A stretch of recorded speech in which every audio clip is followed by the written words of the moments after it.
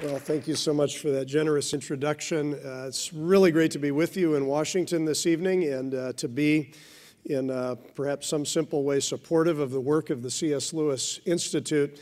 Uh, it's always a blessing when people ask you to talk about C.S. Lewis, so uh, it didn't take me long to say yes uh, to this invitation, that's for sure. And uh, I just want to say, I, will get into my remarks um, in a moment, but I just want to encourage you, as somebody who appreciates the ministry of the C.S. Lewis Institute, I appreciate getting the quarterly publication Knowing and Doing, uh, admire the leadership of Joel Woodruff and others. Um, you have received a very simple, low key, not a high pressure invitation uh, to participate in the work of this institute through financial giving. And uh, part of my hope and prayer is that we uh, look at the discipleship life of C.S. Lewis this evening, that you are encouraged and inspired in something of the ethos of his life of discipleship and encouraged by that to want to see that not just in your own life, but in the lives of others. And that in some way that'll be an encouragement to you uh, in your own giving and uh, the opportunity you have uh, for giving this evening. I want to begin by uh, inviting you to come with me to the city of London. Um, just a couple of months ago, I wish you could have been there with me. Probably there are a few people here tonight who were there on November the 22nd when it was the 50th anniversary of the death of C.S. Lewis, and there was a memorial service giving praise to God for his life in Westminster Abbey. There were many things that were thrilling about that worship service uh, for me. One of them was that there's only one um, audio recording of C.S. Lewis's broadcast talks on, on the BBC during World War II. And part of that recording was played for us during the service. And so the living voice of C.S. Lewis was part of our, our worship experience. It was also thrilling to see the monument that was dedicated to C.S. Lewis in Poets Corner C.S. Lewis, as some of you may know, was a gifted poet. In fact, at a certain point in his life, uh, he had a, a, dream and vision for um, becoming a, a great English poet, which was not God's calling for his life. But Lewis was more of a critic than a poet, and it's sometimes said that nobody ever erected a monument to a critic. Well, if you go to Westminster Abbey, you can see a monument to a critic, C.S. Lewis, perhaps the exception that proves the rule. It was also a thrill for me to be at that uh, worship service with my young daughter, Catherine. Uh, one of the things I, I, try to do in, in some of my travels is take uh, some of my children with me from time to time. And somehow it seemed to me not just appropriate, but necessary for some children to be there to celebrate the life of C.S. Lewis. And uh, I'll comment uh, more on some of the reasons uh, for that later. It was also really moving for me to hear some of the prayers that were offered. And let me just read you one of the prayers that was offered on that occasion, and uh, we can perhaps make it part of our prayer this evening Almighty God, Father of lights and author of all goodness, we give thee humble praise for the life and work of thy servant C.S. Lewis, and beseech thee that as he has helped us look to a world beyond this world and to hopes better than our own, we may come with him to the fullness of everlasting joy, which thou hast prepared for them that truly love thee in the heavenly courts of thy Son, our Lord Jesus Christ. Amen. As I heard those and other prayers, I was filled with gratitude to God for C.S. Lewis, who, in a way, has been to me a lifelong friend and an inspiration in the life of Christian discipleship. And part of what I want to do in my talk this evening, and by the way, they didn't give me just three minutes, they gave me close to 30. Uh, let me just encourage you to get in a comfortable place in your chair. Uh, catch the eye of somebody across the table and give them a little nod if you need more coffee, uh, and just settle in so that we can uh, revel in the life and teaching of C.S. Lewis. But part of what I want to do is uh, talk a little bit about my personal relationship with C.S. Lewis, which is an important part of my personal relationship with Jesus Christ. For me, all of this began, as uh, perhaps it did for many of you, with The Lion, the Witch, and the Wardrobe. That's a book I, I heard before I was able to read it for myself. And yet, I think even before that time, the name C.S. Lewis was mentioned so often in my childhood home that even though I wasn't sure who he was, he, I thought maybe he was a family member or somebody that we knew really well. Uh, I was born in 1966, so he wasn't even alive then, but uh, there was this sense of his living presence. I had a great love for the Narnia Chronicles when I was a child. I can remember um, feeling of some resentment I had when my mother would stop reading to sort of point out some of the spiritual connections and how it related to biblical themes. And I, I wasn't about to let the story be ruined by somebody telling me what they meant. Uh, once I was able to read the stories for myself, I, uh, for myself, I often associated them, uh, associate them now with being sick because I consider that I didn't have a really satisfactory illness unless I had time to read all seven Narnia Chronicles either in uh, canonical order, starting with The Lion, the Witch, and the Wardrobe, or chronological order, starting with The Magician's Nephew. There were two ways to read them. Uh, one result of this is that the illness of uh, Diggory's mother in uh, The Magician's Nephew has always elicited deep feelings of empathy from me. I could relate to her situation.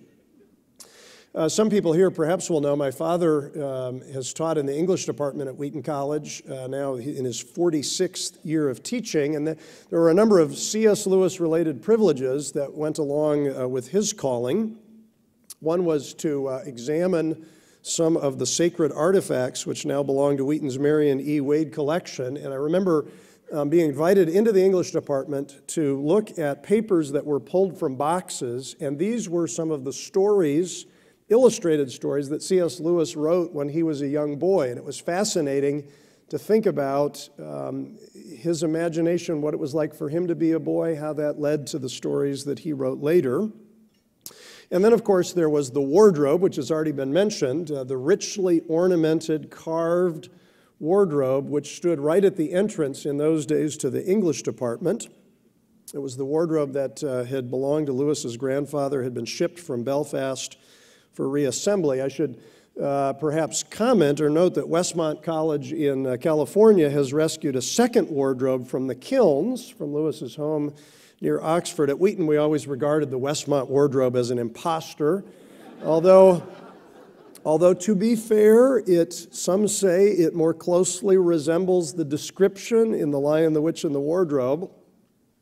But just imagine what it was like to walk by the wardrobe as a young boy and uh, it was always closed for safety, I guess. But I would wonder, you know, what would happen if you stepped inside? You know, did my father ever step inside? After all, who would ever know? Because Narnia time is different from Earth time. You wouldn't even know. I mean, it would just be instantaneous. Um, these were some of the imaginative stimuli of my childhood. Uh, part of uh, my experience growing up with C.S. Lewis was uh, the way that he was really fun for our whole family. Uh, one of the defining rituals of Christmas morning for us was for my grandfather to receive three gifts inexplicably, a fruitcake, slightly more um, plausibly, a bag of lemon drops and a new hardback volume of C.S. Lewis, and to see the big smile that would come on his face as he anticipated here is a man who was not college educated but committed to the life of discipleship, growing through the ministry of C.S. Lewis, uh, the reading that lay in store for him. Uh, my grandmother uh, taught uh, elementary school mathematics at the fifth grade level, but um, she conducted a sort of covert evangelistic uh, crusade by reading her classes The Lion, the Witch, and the Wardrobe, which, uh, you know, secular school they couldn't exactly object to, but she was trying to baptize the imagination of her students, reading them a story of a king who offers his life as a substitute for a sinner and then leaps back to life. It's been a joy as a father to introduce the Narnia Chronicles to my children.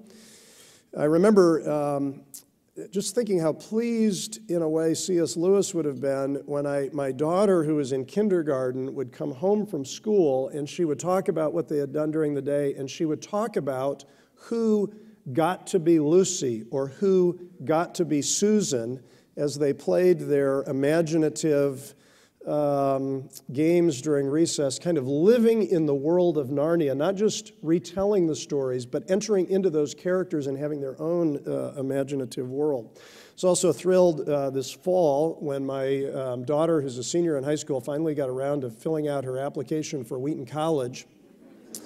And uh, she has uh, been not really a C.S. Lewis enthusiast the way I would want her to be. I asked her what she was writing on for her essay, and she was a little sheepish. She said, Dad, I have become such a cliche. I'm writing my essay for Wheaton on C.S. Lewis. And it was because she had a transformative uh, encounter with C.S. Lewis through reading The Great Divorce and uh, discussing it with her high school class. And um, this was part of her discipleship. Um, our family has had a lot of fun with C.S. Lewis, but it has also been for the glory of God. It's been for the discipleship of the heart and of the mind. Can I mention just three simple lessons about discipleship we can learn from Lewis's life and ministry? Share your faith. Pray for the lost. Read your Bible. These are ways of following Jesus in the way of biblical discipleship until finally you are called to that home where C.S. Lewis, as our brother, has already entered. Be like C.S. Lewis in the ways that he is like Jesus Christ. And let me begin by talking about sharing your faith. You know, for C.S. Lewis, these are his words. And incidentally, this is one of the great things about being asked to talk about C.S. Lewis. You can use his words he said that the salvation of human souls was the real business of life. Now, for, for Lewis, uh, sharing his faith did not mean standing in the city center of Oxford and doing street evangelism. He didn't go around asking students or colleagues if they had a personal relationship with Jesus Christ. He didn't go door to door in Headington Quarry where he lived, passing out tracts or asking his neighbors if you were to die tonight and so forth. In fact, on occasion, Lewis uh, even seemed reluctant to evangelize, at least as we might think of evangelism. His longtime driver, Clifford Morris, observed that he rarely used casual conversation as a context for evangelism. Morris said he was no Billy Graham type at all. And perhaps this was because he was convinced that what we practice, not simply what we preach, is our great contribution to the conversion of others. Those are the words of C.S. Lewis. You hear a little bit of an echo of knowing and doing. The doing is very significant for our proclamation of the gospel. And Lewis also had observed that sometimes we may make uh, that we may run the risk of making a nuisance of ourselves by witnessing at improper times. And yet, if you look closely at the life of C.S. Lewis, you see the way that he took advantage of opportunities to speak boldly about Jesus Christ and the claims of the gospel. One place where Lewis did this was in the Socratic Club at Oxford University. He was president of that club from 1941 to 1954. It was a club open to atheists, agnostics, even believers in Jesus Christ. And from the beginning, its purpose was to encourage people to ask the question and then discuss it Is the Christian faith true or not? Meetings would begin with a talk on a religious subject by a prominent speaker, not necessarily a Christian, and then there was vigorous open debate. And Lewis always figured prominently in those discussions, arguing from the Christian point of view. The founder of the Socratic Club, a woman named Stella Aldwinckle, remembers uh, Lewis attending a house party for students who had participated in the Socratic Club during a uh, vacation in 1943. I guess I should call it a holiday. Uh, the purpose of this house party was to nurture students who were beginning to get serious about the Christian faith. There were a dozen agnostics that attended that weekend with C.S. Lewis, all of them returned to the university professing faith in Jesus Christ. And part of that was the personal evangelistic witness of C.S. Lewis, who had been presenting the Christian faith. People were talking to him about Christianity, and as that relationship and friendship developed, he had an opportunity to win people for Christ. Lewis himself was uh, not um, unduly enamored of his own gifts as an evangelist. We get a sense of this from comments that Lewis made about the evangelistic talks that he gave to the Royal Air Force. Early in uh, World War II, there was a mother who had lost her pilot's son, and she provided uh, money to the YMCA to sponsor evangelistic work among pilots who were in training for the Royal Air Force. They were trying to wage war on, quote unquote, the forgotten front, the spiritual front, and they invited C.S. Lewis, who had a growing national reputation, to be a speaker. And he wasn't sure he was really going to be effective, that he was really a, a suitable speaker, but he followed the call of God to be um, a speaker at a number of uh, RAF bases and camps. As Lewis uh, recounts these experiences, he remembers the talks not going uh, particularly well, um, sometimes not very many people in attendance, not very responsive. Uh, one of his letters, he says, I've given talks to the RAF at Abingdon already, and as far as I can judge, they were a complete failure. Uh, and yet, um, particularly as time went on, though Lewis's faithfulness in sharing his faith bore spiritual fruit. Just imagine C.S. Lewis, of all people, thinking, you know, I'm, I'm not that effective as an evangelist, and yet he persevered in sharing his faith, having uh, perhaps um, a sense of limitation that many of us feel, and yet remaining faithful. One, uh, one minister who accompanied Lewis on some of these uh, talks for the pilots thought that they featured C.S. Lewis at his most characteristic, just, I'm telling you clear sense. But he also says it wasn't, it wasn't a kind of conversion talk, it wasn't any kind of hot gospeling, this uh, minister said. And yet others, as they uh, recount Lewis's effectiveness on these occasions, saw the Holy Spirit bringing great spiritual fruit. One of his colleagues remembers a meeting at Norfolk when uh, Lewis bared his soul to a chapel packed with bomber squadrons. These are men who were going out to battle, many of whom uh, they all knew would lose their lives. And he spoke about the personal cost of following Jesus Christ. He talked about his own discipleship, what it had cost him in terms of reputation and prestige in a university uh, context. He talked about the greater cost of the obedience of Jesus himself.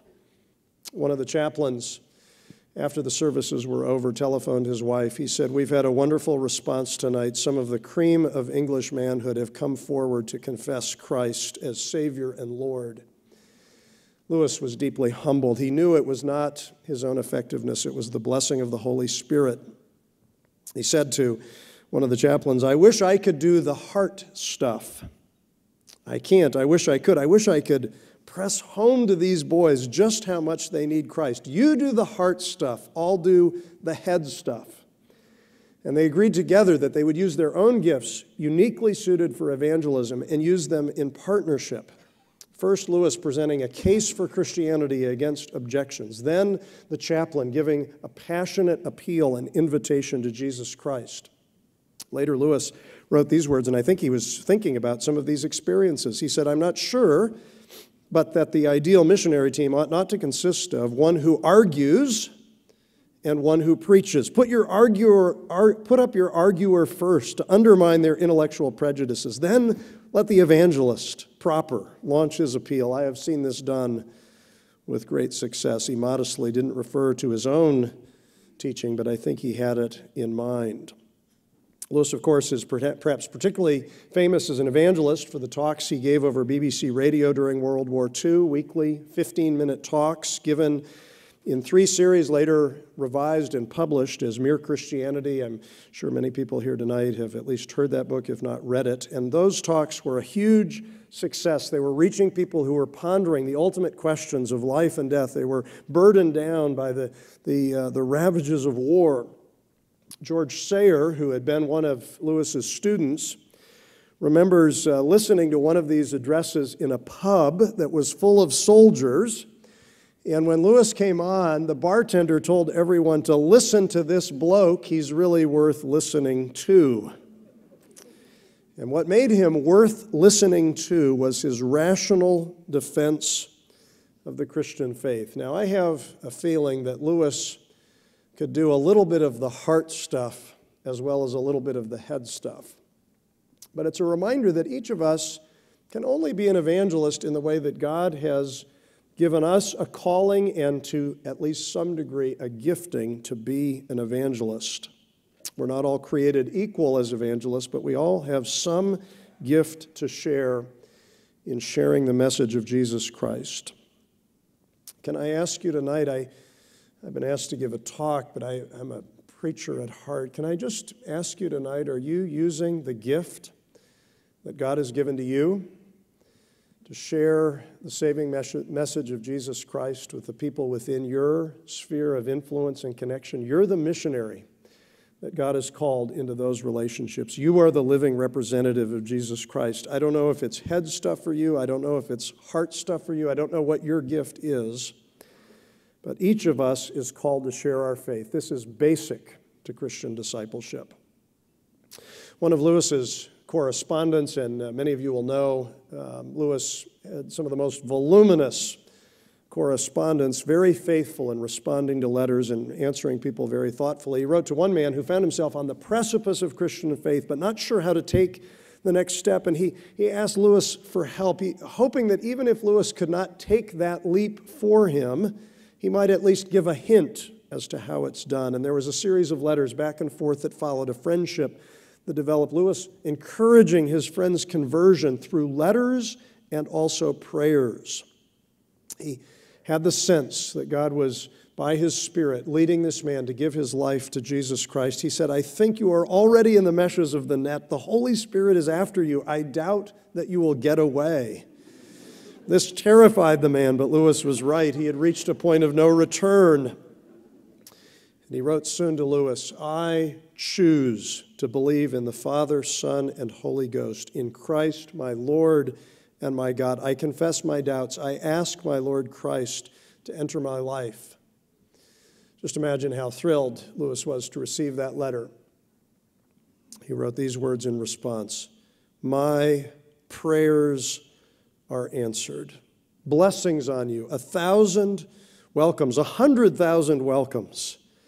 Make use of me in any way you please, and let us pray for each other always. Now, it would be easy to miss the significance of what Lewis said there. My prayers are answered. Not a pious cliche, but the literal truth, because for Lewis, prayer, and in particular, prayer for people who are lost, was central to evangelism and to Christian witness. Here's how Lewis reasoned if conversion is a work of the Holy Spirit, and if the work of the Holy Spirit is often prompted by the prayers of believers, then prayer is indispensable to God's saving work in the world.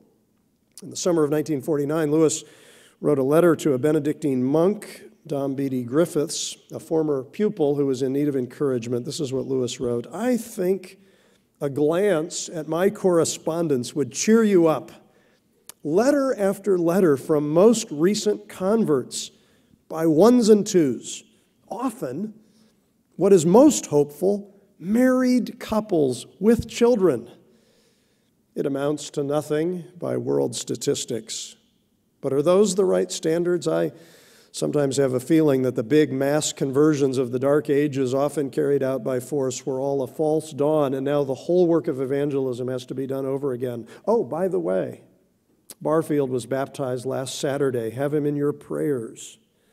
And then this comment did you know this about C.S. Lewis? I have two lists of names in my prayers those for whose conversion I pray, and those for whose conversion I give thanks.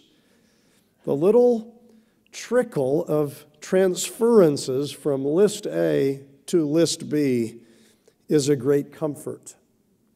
Now, that's a significant letter for many reasons. It gives a hint of the evangelistic influence of C.S. Lewis, that he was getting all of these letters from people giving their lives to Christ. It also uh, gives us a, a helpful warning about the dangers of trying to quantify salvation. That's not the point. But it also gives us a glimpse of C.S. Lewis as a man of prayer. Lewis used the Book of Common Prayer daily Each month, he prayed his way through all 150 Psalms. And it was his regular practice to pray for the unconverted by name and to give thanks to God when those prayers were answered. And that practice extended not only to his personal friendships and relationships, but also to the writing that he was doing. In one, uh, in one place, Lewis writes about his prayer that through his writing, God would help him say things helpful to salvation. Now, you may feel, and if you feel this way, really this is the way you ought to feel, that you don't have the gifts to bring anyone to Christ. But do you have the capacity to say things that are helpful to salvation? If not, may I recommend the Fellows Program of the C.S. Lewis Institute as something that can help you say things that are helpful to salvation? But can I also ask what your prayers are, what your habits for prayer are? What, what are the, who are the people you are praying for that God will bring, salva- uh, bring to salvation? If God answered every prayer that you offered over the past week, would there be someone new in the kingdom of God? Because that had been part of your prayer life. C.S. Lewis is an example for us of discipleship as a life of prayer, and then equally committed to another means of grace, and this is the third area of discipleship I want to comment on more briefly. Lewis was committed to the written Word of God. In thinking about the place of the Bible in Lewis's life and ministry, and the place that it needs to have in my own daily life, an example from Lewis's writings I often think about is the beginning of the silver chair. I hope some of you know that story. At the beginning, young Jill Pole, who is a schoolgirl, finds herself in a wood at the top of a high mountain. She meets a lion there, maybe you know his name, and he gives her the task of finding a lost prince and bringing him back home to Narnia. That's the quest. And the lion gives Jill four signs to guide her.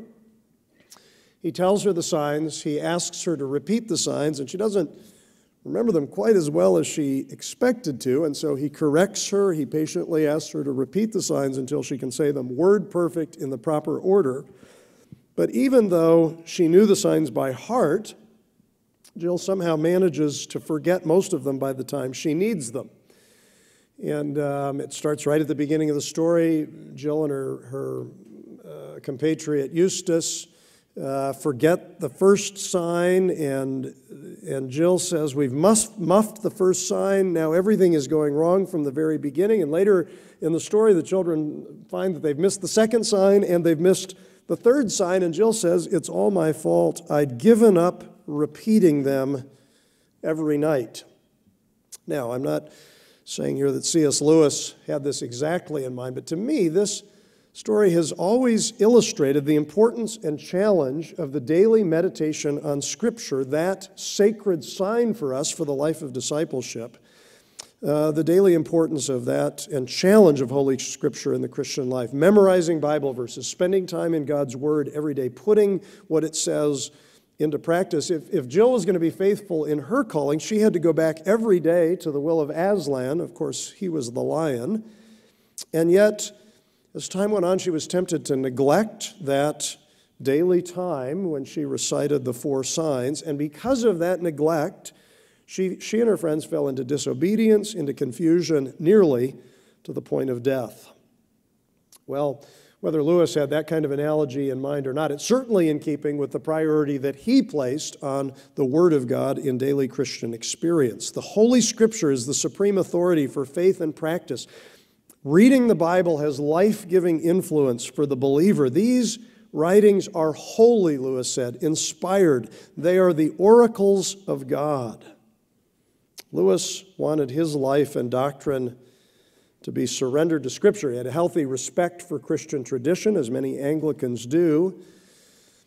And yet, at the same time, his norm was the Bible. He referred to it as Holy Scripture. In fact, in one of his uh, letters, which he wrote to the editor of the journal called Theology, he said, If we believe that God has spoken, naturally we will listen to what he has to say. And his frustration was people that didn't want to listen to what God had to say.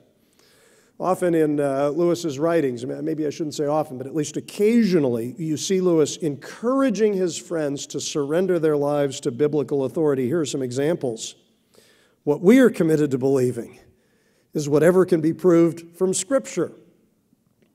Or this, yes, Pascal does directly contradict several passages in Scripture and must therefore be wrong. I take it as a first principle that we must not interpret any one part of Scripture so that it contradicts other parts. Lewis was concerned with what Scripture said. In another one of his letters, he was responding to a woman who had heard skeptical doubts about the miracles in the Bible, and in particular the virgin birth.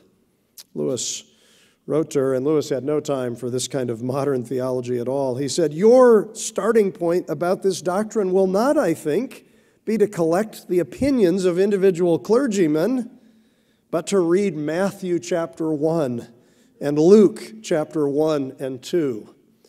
Scripture was the starting point for C.S. Lewis as it should be for us. One correspondent asked Lewis, What is your view of the daily discipline of the Christian life? For the need to be taking time alone with God.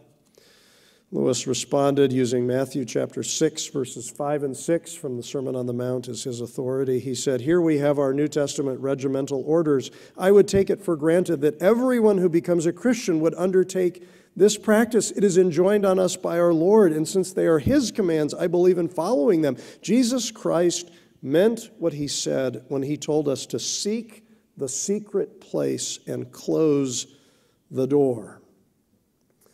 C.S. Lewis had an extraordinarily fruitful life of Christian discipleship, and this was part of the, part of the secret. It was going to the secret place, being devoted to prayer and to the Word of God, and then coming out of that secret place to share the saving message of Christ to the world.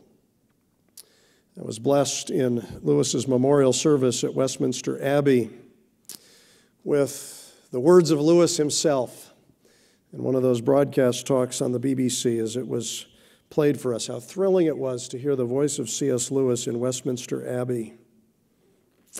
He said the first step towards getting a real self is to forget about the self. This principle runs through all of life, from the top to the bottom. Give up yourself, and you will find your real self. Lose your life, and you will save it. Submit to death. Submit with every fiber of your being, and you will find eternal life. Yes, eternal life, that life into which our brother C.S. Lewis has already entered, in which a life to which he invites us to follow him in the way of daily, simple Christian discipleship. As I reflect on the life of C.S. Lewis, it occurs to me that there is hardly anyone from whom I have learned more or had a greater, um, received a greater appetite and longing to enter into my eternal home that home that waits for me and for all of us as followers of Christ at the end of our pilgrimage. And in recent months, as I've been reflecting on the life and death and legacy of C.S. Lewis, I've been um, reflecting on a passage from the Voyage of the Dawn Treader. In this passage, uh, Lucy has uh, entered into a house, the house of a magician, and there is a magical book, and she somewhat unwisely, is paging through the book and looking at various magic incantations, and she sees a spell for the refreshment of the spirit. And uh, it's actually more like a story, and it's a story that becomes so real she feels like she has entered into the story. And she got to the end, she said, That's the loveliest story I've ever read or shall ever read in my whole life. Oh, I wish I could go on reading it for 10 years. At least I'll go on, I'll read it again. But as she tries to turn back in the book, all of those former pages are closed. There's no way back. And so she tries to remember the story. Oh, what a shame, she said. I did so want to read it again. Well, at least I must remember it. Let's see, it was about, oh dear, it's all fading away again. How can I have forgotten? It, it was about a cup and a sword and a tree and a green hill. I know that much. And not long after that, Aslan comes on the scene. And Lucy wants to ask him about that story. Shall I ever be able to read that story again? The one I couldn't remember? Will you tell it to me, Aslan? Oh, do, do, do. Indeed, yes. Aslan says, as her Savior, I will tell it to you for years and years. Maybe you know a story about a cup of salvation, about a sword of the word, about a tree on a green hill where all your sins were taken away. We have a Savior who will tell us that story for years and years. We live in that story now. Praise God for the ways that C.S. Lewis has showed us one example of how to live that story and share it with others. Thank you.